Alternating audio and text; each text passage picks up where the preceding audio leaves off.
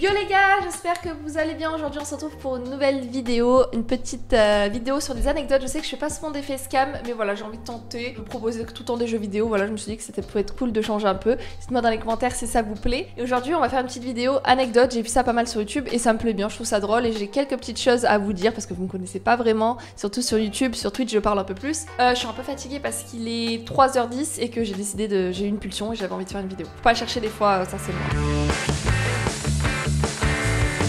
suis fait opérer du doigt euh, parce que euh, j'ai très très peur des médecins. Je vous explique. En gros, euh, je suis tombée au ski il y a en 2016 avec j'étais allée au ski avec un pote et, et mon ex, mon premier copain, et je suis tombée parce que j'ai voulu prendre une bosse à la dernière pente. Je vous jure, la dernière pente, il y avait la voiture juste en bas. C'était la dernière des dernières. On descendait, on enlevait les skis, on mettait tout dans la voiture et on partait. Voilà, je suis tombée vraiment tout dernier moment. J'ai un peu le seum.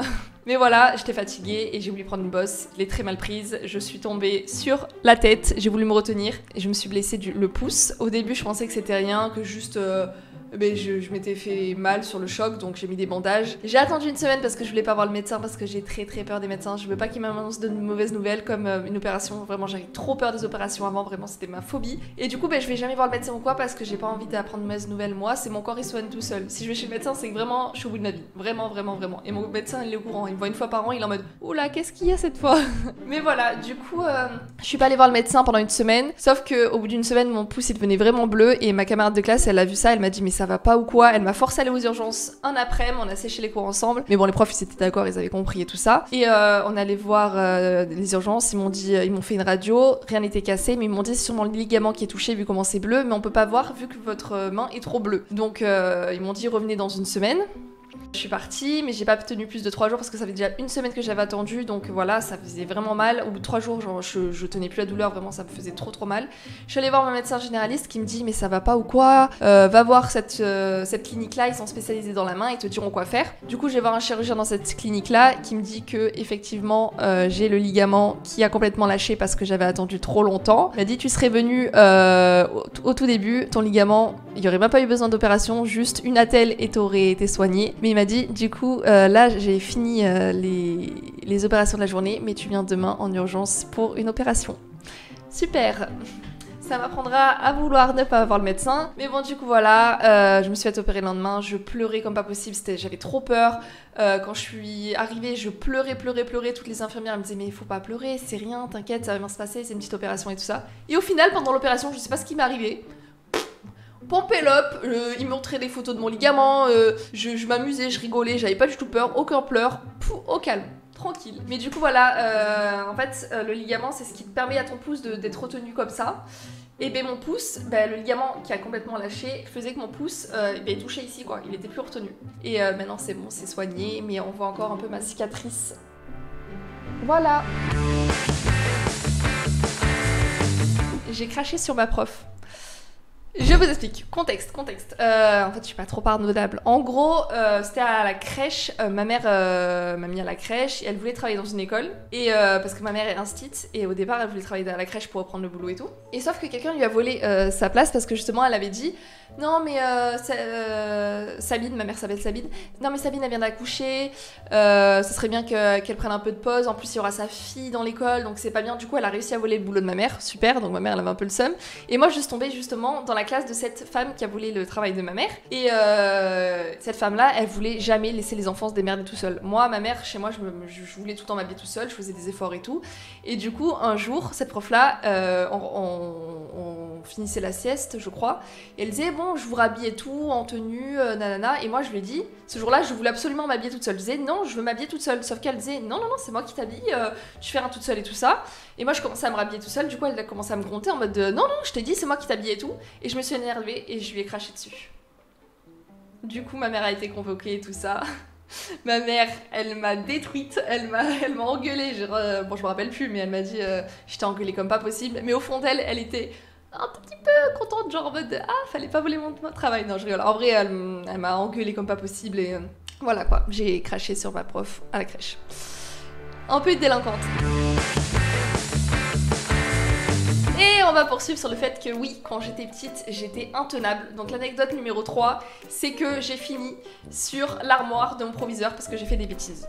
En gros, euh, ça c'était à la maternelle, il y avait la maternelle et la primaire euh, collées. En gros, ça faisait un cercle avec la, récré au milieu et j'avais du coup mon frère et ma soeur qui étaient dans la même euh, école que moi. Et il y avait la maternelle là, la primaire là et le proviseur là, un truc comme ça. Enfin bref, je sais que pour aller de ma classe à chez le proviseur, je passais par la cour et dès que je faisais une bêtise, le avait l'habitude de venir me chercher pour m'amener dans sa classe. Du coup, à chaque fois, je passais au milieu de la récré comme ça et euh, toute la classe de ma soeur à chaque fois disait "Oh, ta soeur elle a encore fait une bêtise, regarde le proviseur, il la traîne dans la cour."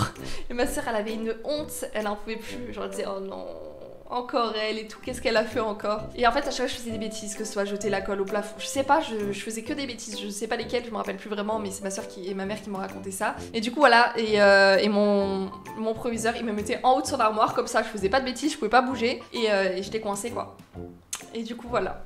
Bon, j'ai bien changé, maintenant, je suis plus tout comme ça, je suis sage. Euh, j'étais un peu une pipelette quand même, mais je suis sage. J'ai mangé les croquettes de mon chat. Voilà, je voulais goûter. Je pense qu'on a tous goûté. Si vous avez un animal de compagnie, je pense qu'on a tous goûté une seule fois au moins les croquettes. Ou je suis bizarre, je sais pas. Mais euh, moi j'aimais ça. Genre je me cachais et je mangeais les croquettes de mon chat. Et je me rappelle, ma mère elle a dû cacher les croquettes pour que j'arrête de les manger. Elle me grondait, mais je voulais quand même continuer et elle a dû les cacher pour que j'arrête de les manger. C'est un peu bizarre. Quand j'étais petite, j'écrivais des lettres d'amour à euh, mon crush et je avec une amie. Alors en fait, avec une amie, on avait le même crush amoureux. C'est, il s'appelait Valentin. Non. C'est- Non, il s'appelait pas Valentin. Il s'appelait. Oh, je sais plus. Jérémy. Il s'appelait Jérémy. Il s'appelait Jérémy, en fait, quand on rentrait dans la classe, son bureau, c'était celui devant la porte euh, quand on rentrait. Du coup, avec une amie, chaque soir, on écrivait des lettres d'amour. On les posait sur son bureau et on allait s'asseoir dans la classe. Et lui, dès qu'il rentrait juste avant la prof, il rangeait ses, ses lettres dans, le petit casier. Vous avez euh, dans, les bureaux à l'époque, on avait des petits casiers. Je sais pas si c'est encore le cas, je pense que oui. Et euh, il s'avère que euh, une fois, dans, parmi ces lettres, j'avais mis une invitation à mon, anniversaire. Et il est venu à mon anniversaire, c'est-à-dire qu'il lisait mes lettres. Et ma copine, elle était jalouse. Cassandra, si tu passes par là, désolée. Je suis claustrophobe, mais je sais exactement d'où vient ma claustrophobie. Quand j'étais petite, je n'étais pas du tout claustrophobe. Ma mère est claustrophobe, donc ça vient un peu peut-être d'elle, mais j'étais claustrophobe parce que chez ma grand-mère, euh, en haut, dans la chambre des, en- des enfants, où on dormait tous, il y avait une armoire qui s'ouvrait que de l'extérieur. Et nous, on était bêtes. On a tous décidé, un jour, de tous rentrer dedans et de s'enfermer dedans. Tous, les petits cousins. Sauf que ma grand-mère, à ce moment-là, elle était en train de s'occuper des plantes dehors et mon papy, il travaillait dans les vignes. Du coup, personne pouvait nous entendre et on, a, on est resté bloqué dans cette armoire, je ne sais pas combien de temps, à crier mamie et tout. Moi, j'ai fait une crise de panique à l'intérieur, c'était le pire moment de ma vie. Et, au bout d'un moment, elle nous a entendu, je sais plus au bout de combien de temps, mais elle nous a entendu, elle est montée, nous ouvrir, elle nous a grondé, elle était en mode mais qu'est-ce que vous faites? Vous êtes débiles ou quoi? À vous enfermer dans une armoire qui ne s'ouvre pas de l'intérieur Et moi, depuis ce jour-là, je- je ne supporte pas être enfermée en fait. J'ai trop peur de ça. Je suis claustrophobe comme pas possible et ça vient clairement de là. On est stupide quand on est jeune, c'est pas possible. Pourquoi on a fait ça? J'ai très très peur des tatouages. Genre, euh, ben, avant j'avais peur également des cicatrices, malheureusement j'en ai une. Mais en gros, je sais que je ne pourrai jamais me faire de tatouage parce que j'ai trop peur d'avoir quelque chose sur ma peau qui va jamais partir. Genre, je sais que ben là, ma cicatrice au début, j'avais trop du mal parce que ça me rendait folle de savoir que j'allais avoir ça toute ma vie. Et pareil pour les tatouages. Genre, je sais que si un jour je me fais un tatouage, je, supporterai pas savoir que je ne pourrai jamais l'enlever en fait, ne pas avoir le pouvoir de l'enlever. Après, je sais que maintenant il y a des choses euh, qui permettent d'enlever les tatouages, mais même, genre, de base, quand tu fais un tatouage, c'est que tu veux le garder toute ta vie. Et, euh, et du coup, voilà, je peux pas me faire ça parce que ça me rendrait folle, vraiment. Des fois, j'ai fait des cauchemars comme quoi on me tatouait à mon insu, et du coup, je, paniquais vraiment. Et euh, voilà, j'ai trop peur de me faire des tatouages, et vraiment. euh, Pour la dernière anecdote, les gars, il faut savoir qu'à chaque fois que je donne ou fais une prise de sang, je tombe dans les pommes. Et je sais exactement de où ça vient en fait, c'était que la première fois où j'ai fait une prise de sang pour savoir s'il me manquait du fer ou euh, des vitamines ou je sais plus trop quoi, et ben euh, j'avais fait ma prise de sang, j'étais avec ma grand-mère et après ça, on voulait aller au marché pour euh, m'acheter un petit truc à manger pour que je mange et je tombais dans les pommes en fait en marchant dans le marché parce que ben, j'étais très fatiguée hein, euh, et voilà, j'ai dû faire une prise de sang à jeun donc mon corps il était très très fatigué et du coup je tombais dans les pommes, bon on m'a mis sur une chaise, on m'a donné un carré de sucre et tout, mais il s'avère que depuis ce jour-là, à chaque fois que je vais faire une prise de sang ou un don du sang, je tombe dans les pommes. La dernière fois, j'étais allée faire une prise de sang avec ma mère. je me suis dit, ça va, c'est une prise de sang, c'est rien. Sauf que je parlais avec elle normal et tout. Et au bout d'un moment, euh, en pleine discussion, j'étais en train de lui parler. Et là, je tombe dans les vapes. Et, en fait, elle avait même enlevé l'aiguille et tout. hein. La prise de sang était terminée. Je sais pas, je suis tombée dans les vapes. Et, euh, et du coup, elle m'a expliqué maintenant, j'ai une petite astuce. Il faut juste qu'avec mes pieds, je fasse comme ça là. Tout le long de la prise de sang ou du don du sang.